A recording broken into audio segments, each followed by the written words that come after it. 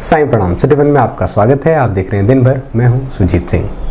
आगे बढ़ने से पहले दर्शकों से एक अपील, कोविड प्रोटोकॉल का पालन करें, घरों से जब भी निकले मास्क ज़रूर पहने और सुरक्षित रहें। अब एक नज़र सुर्खियों पर।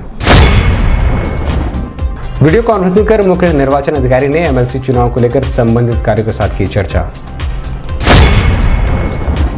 प्रदेश सरकार के कैबिनेट मंत्री डॉक्टर संजय निषाद ने महायोगी गुरु गोरक्षनाथ मंदिर पहुँच की पूजा अर्चना।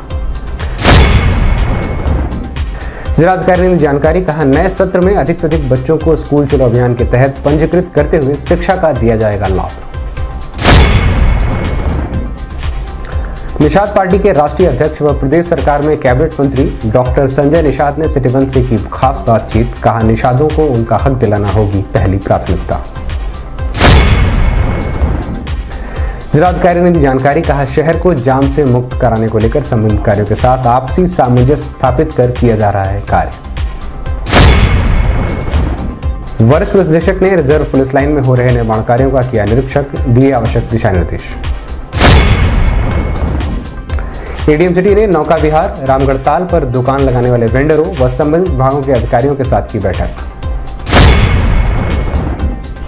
पुनर्गठन कर एंटी रोमियो टीम को वरिष्ठ अधीक्षक ने हरी झंडी दिखाकर जनपद के विभिन्न क्षेत्रों के लिए किया रवाना।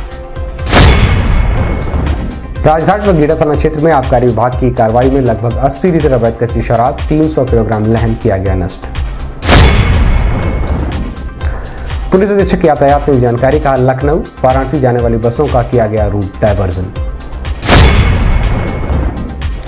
पत्रकार वार्ता कर सीएम ने जानकारी, कहा 2 से 30 अप्रैल तक जनपद में चलेगा विशेष संचारी रोग अभियान।